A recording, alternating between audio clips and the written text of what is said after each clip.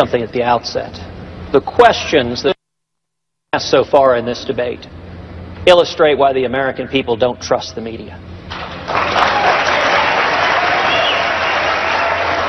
This is not a cage match. And you look at the questions. Donald Trump, are you a comic book villain? Ben Carson, can you do math? John Kasich, will you insult two people over here? Marco Rubio, why don't you resign? Jeb Bush, why have your numbers fallen? How about talking about the substantive issues people care about?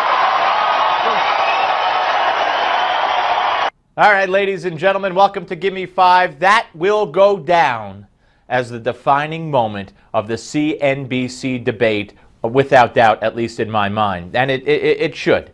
It should. And I think it's going to lead to a lot of changes. You heard Ben Carson at the beginning of the show tell us exclusively he's trying to organize the other candidates to demand changes in the debate format going forward. I think this was a turning point. And uh, CNBC, you know, they should be ashamed of themselves the way Fox should be ashamed of themselves, the way CNN should be ashamed of themselves. They all did it differently, but they all went after the Republican candidates. And here's some more uh, instances of the crowd being on the side of the candidate. To be fair, you were on the homepage of their website with the logo over your shoulder. If somebody put me on their homepage, they did it without my permission. Does that not speak to your vetting process or judgment in any way? No, it speaks to the fact that I don't know that it's going on. See, they know.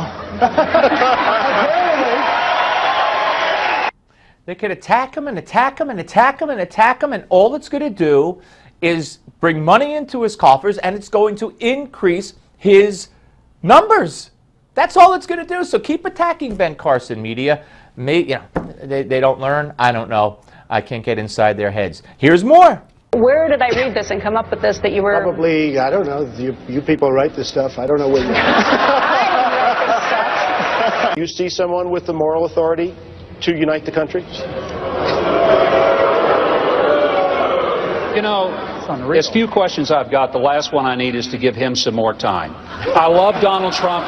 He is a good man. I'm wearing a Trump tie tonight. Get over that one, okay? Is that made in Mexico? I don't know. Is it made? Is it made in Made China? in China or Mexico? I have no idea. Ask again. That is, China or and by the way, Mexico? such a nasty, such a nasty question. But thank you, Governor. You're welcome. and on it goes. And Chris Christie. Yes, he was up on stage last night. Remember, he was looking right at you the whole time, and uh, he weighed in as well.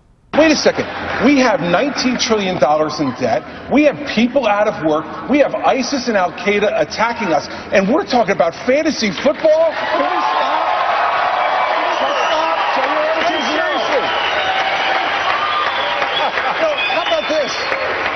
We get the government to do what they're supposed to be doing? Secure our borders, protect our people, and support American values and American families. Enough on fantasy football. Let people play. Who cares? All right. Well, of course, the issue with fantasy football is that some people claim it's rigged and it's not fair to the people who are investing money. Now, I believe he's being disingenuous, and if this was happening in the state of New Jersey only, he'd be the first one to investigate it, try to close them down, and brag about it. Um, he also talks about what government should do. A high school student athlete in New Jersey, the only state, if a referee thinks they're talking about another uh, opposing team person and in a derogatory manner, ethnicity, sexuality, they can be reported to the state's attorney general's office. Is that what government's supposed to do? Governor, here's one more. Let me give you one quick example. These folks, CNBC, they had it down at three, three and a half hours. I just read today in the New York Times, $250,000 for a 30 second ad. I went out and said, it's ridiculous. Nobody, I could stand up here all night. Nobody wants to watch three and a half or three hours. It was a big sacrifice, and I have to hand it to Ben. We called Ben. He was with me 100%. We called in. We said, that's it. We're not doing it. They lost a lot of money. Everybody said it couldn't be done. Everybody said it was going to be three hours, three and a half, including them. And in about two minutes, I renegotiated it down to two hours so we can get the hell out of here. Not bad. Not bad. And then they said he was not telling the truth. It was always going to be two hours, and he said that is not true. Thanks for watching, folks.